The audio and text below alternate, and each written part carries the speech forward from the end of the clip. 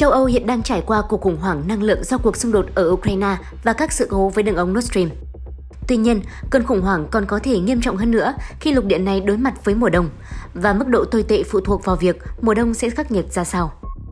Dự báo thời tiết sớm do các nhà khí tượng công bố hôm 14 tháng 10 cho biết có thể có một đợt lạnh giá vào tháng 12 ở châu Âu, gây thêm áp lực lên các chính phủ đã giảm nhập khẩu khí đốt tự nhiên của Nga từ 40% xuống dưới 8%. Đây không chỉ là một mùa Giáng sinh trắng, cũng không phải là ngày tận thế xảy ra vào tháng 12.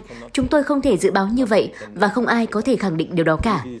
Đối với tôi, đây là câu hỏi rằng liệu chúng ta có thể yên tâm vì chúng ta đã có một mùa hè ấm áp nên thời tiết mùa đông sẽ không quá ra rét hay không?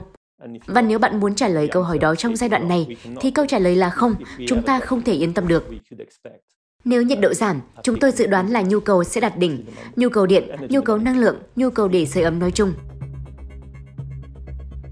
Cuộc khủng hoảng năng lượng đã khiến hóa đơn tiện ích ở khắp châu Âu tăng vọt kỷ lục. Riêng tại Vương quốc Anh, chính phủ đã can thiệp bằng cách trợ cấp cho các công ty điện lực trong nỗ lực giữ cho người dân và doanh nghiệp không phải chịu tiền điện cao đến mức không dám sử dụng nhiều hoặc không thể chi trả nổi. Bên cạnh đó, châu lục này còn có nguy cơ thiếu điện, phải phân phối năng lượng theo định mức hoặc thậm chí phải cắt điện. Hãy bấm đăng ký kênh Điểm Nóng Toàn cầu và nhấn nút chuông để dòng thời sự thế giới luôn sôi động trên màn hình của bạn. Điểm Nóng Toàn cầu, video mới nhất về thời sự thế giới từ báo Thanh niên